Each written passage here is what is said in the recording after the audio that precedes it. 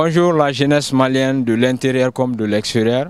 Vous avez M. Driss Arama, leader associatif, président de l'association des jeunes pour le slogan malien AJSM, président de l'association Cri des Caires scolaires ACCS, membre de, de l'association des jeunes contre l'enrôlement dans le terrorisme AJ7, membre du mouvement des jeunes leaders du Mali MJLM. Au nom de la convergence des jeunes pour l'instauration du régime juvénile, je tiens d'abord à préciser que cette lutte ne vise pas un individu ou des individus, mais un système électif, celui du Conseil national de la jeunesse, que j'ai nommé ici Conseil Crassi.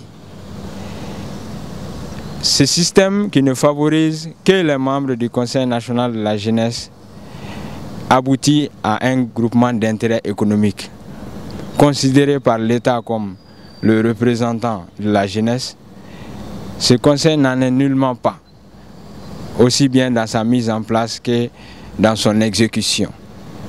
Car l'information des élections n'est accessible qu'aux membres de la jeunesse et sa participation n'est accessible qu'aux membres qui, à l'approche, se promènent de localité en localité pour collecter, rassembler les récipicés des associations souvent fictives pour montrer leur légitimité et se présenter comme candidat.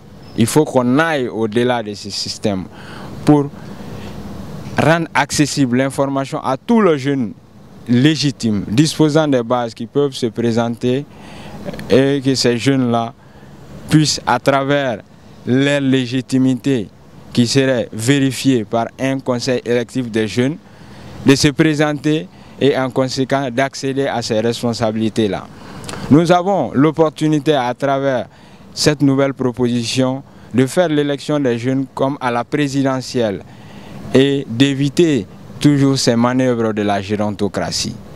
Oui, les jeunes légitimes disposant de vraies bases, aussi bien dans les quartiers, communes, régions et cercles existent.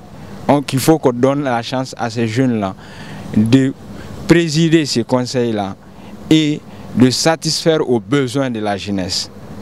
Après cette interview qui a d'ailleurs été précédée, par une tribune publiée sur les réseaux sociaux et beaucoup commentée, nous allons faire des conférences de presse, des émissions télé et radio.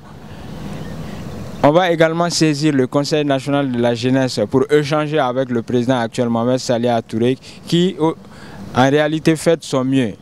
Talentueux, compétent, il l'est mais il n'en existe pas beaucoup dans les responsabilités locales pour donner de l'ampleur à ces conseils-là. Après la saisine du Conseil national, nous allons également saisir le ministère de la Jeunesse pour institutionnaliser cette proposition.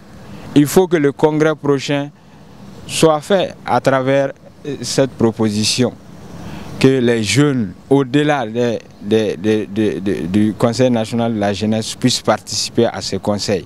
J'en appelle à la compréhension de toute la jeunesse. Et cette compréhension existe déjà. Il y a beaucoup de jeunes qui soutiennent cette alternative. Donc il faut qu'on aille vers cette alternative. Je vous remercie.